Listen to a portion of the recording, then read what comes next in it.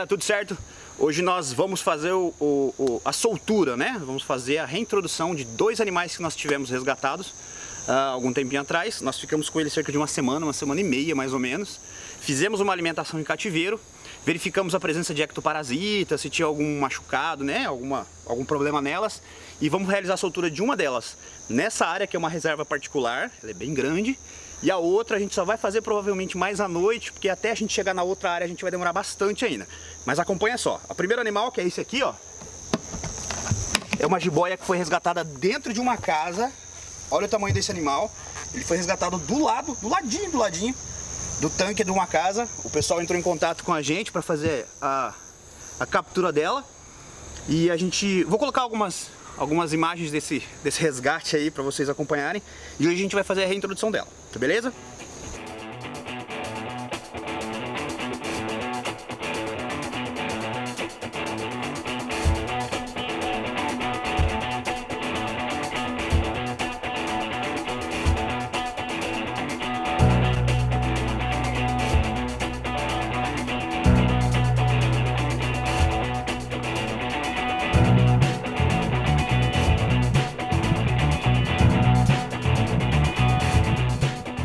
Tá aqui o animal, é, nós fizemos a sexagem dele em laboratório, então eu tô chamando de o animal porque é um macho, é um macho adulto, tá bom?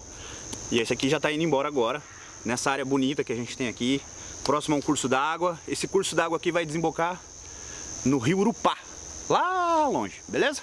Então vamos fazer a soltura dela para vocês acompanharem aqui com a gente. É, por que, que a gente está soltando aqui?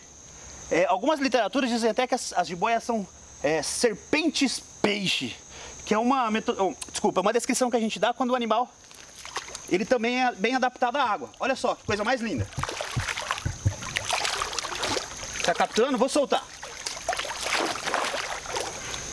Foi embora, feliz. Que coisa mais linda, bicho. Você tá doido. Pronto.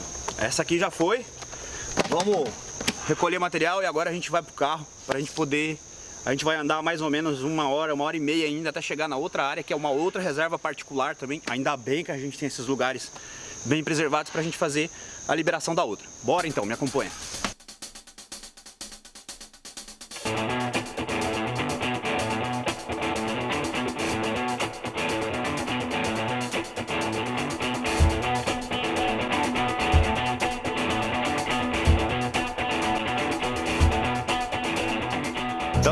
Depois de algum tempo rodado, mais um tempo aí de estradinha, nós chegamos no local onde a gente vai soltar a segunda serpente. A segunda serpente está aqui, ó.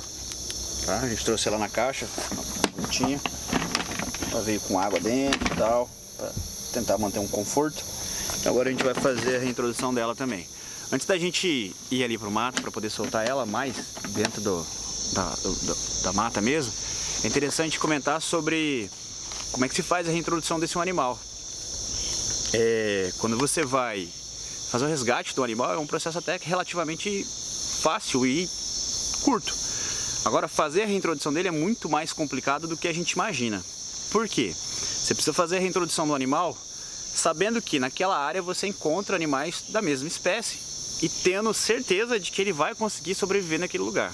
Então não é uma tarefa fácil. Você precisa pensar onde você vai colocar, você precisa estudar a área, você precisa fazer talvez né, uma pesquisa para saber como é aquela área e levar em consideração esses itens que eu falei. Você precisa garantir que esse animal vai ter pelo menos a chance de lutar pela vida dele nesse ambiente, né? Vai ter recurso alimentar, vai ter espaço físico suficiente para sua para sua locomoção, vai ter outros recursos que são necessários, né? A água, reprodução e assim sucessivamente. Então, eu costumo dizer que o processo de reintrodução na natureza é mais complicado que o processo de resgate, beleza?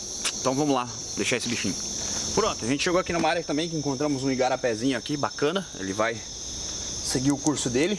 E a parte legal é que nós estamos aqui ó, com uma teia de aranha, coisa mais linda. Não, acho que não, não dá pra gravar agora à noite, não vai ficar legal, mas tem uma teia de aranha, coisa mais bonita que eu vou tentar tomar um cuidado para não estragar ela também. Né? Deixar ela seguir o curso dela. Agora a gente vai pegar a nossa menina e soltá-la. Vocês lembram que durante a tarde eu falei para vocês que aquele rapaz que nós soltamos era um macho? Então, agora nós temos uma moça para ser devolvida à natureza. Olha que legal.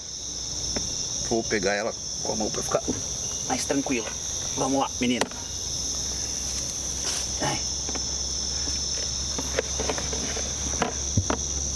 Olha que animal bonito também, ó. Animal bonito. Muito bonito. Vamos lá para a água então? Uma coisa legal pra gente falar, né? Uh, esse animal aqui, ele tem hábitos arborícolas. A gente poderia soltar ele próximo a uma árvore também. Inclusive algumas das presas é, prediletas delas, das jiboias, são aves, né? São pássaros. Elas costumam buscar o ninho. Mas a gente prefere que ela siga um caminho terrestre próximo da água, que a gente acredita que a disponibilidade de alimento é melhor. A disponibilidade de recurso e alimento é melhor. Vamos lá, menina. Vai lá. Olha lá o Anderson. E foi mais uma. Coisa linda. Embora. Então é isso. Mais um resgate com soltura concluída, né? A gente acabou de realizar a soltura, a soltura, eu vou chamar ela de eficaz, né? No local ideal. E a gente só espera que esses animais sigam o curso natural deles tá bom? Então beleza galera, se você encontrar um animal desse na sua residência, na sua propriedade e tal, não precisa entrar em desespero, é claro que ele dá um certo medo, ainda mais quando é um animal que a gente não conhece, de grande porte, que nem esses dois que a gente soltou hoje.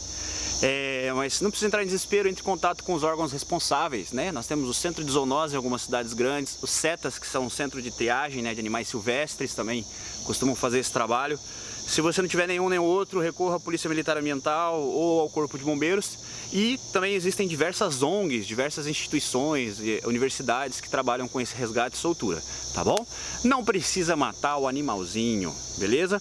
Então, se inscreve no canal, curte esse videozinho aí, compartilha pra galera ter um pouquinho mais de conhecimento sobre esse animal. E eu espero vocês nos próximos vídeos. Abraço!